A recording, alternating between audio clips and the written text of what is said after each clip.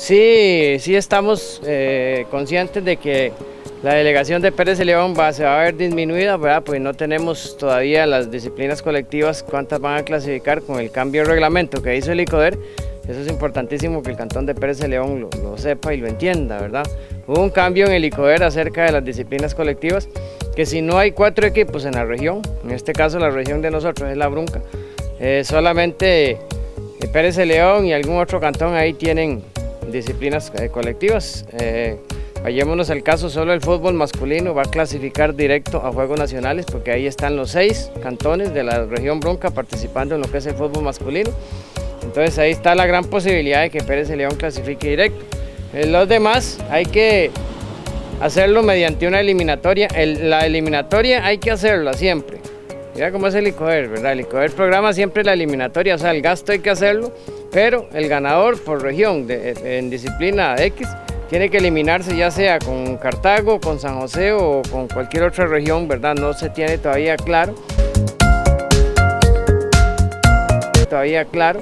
Entonces ahí va a haber una disminución porque no se para nadie es un secreto que la meseta central sea quien sea que le toque muy fuerte. Entonces no sabemos cuáles, cuáles disciplinas colectivas van a clasificar. En otros años a esta a esta época ya el baloncesto estaba clasificado, pues solo nosotros tenemos, el balonmano también, esta vez va a ser todo lo contrario.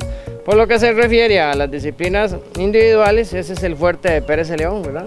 Yo le garantizo al cantón de Pérez de León que las mismas medallas se van a obtener porque las disciplinas eh, individuales son las que aportan una gran cantidad de medallas. Es importante que para que vayan a Juegos Nacionales todas las disciplinas que se puedan. Eso es muy importante para un cantón, eso demuestra muchísimo, ¿verdad? Eso el ICOER sí lo valora en un punto muy alto lo que es gestión y promoción del deporte, ¿verdad? Entonces es importantísimo que vayan muchas disciplinas, pero si no, la, si no van, ya no se puede hacer nada, ¿verdad? Es una ley del ICOER y hay que respetarla y si uno no la respeta se queda afuera.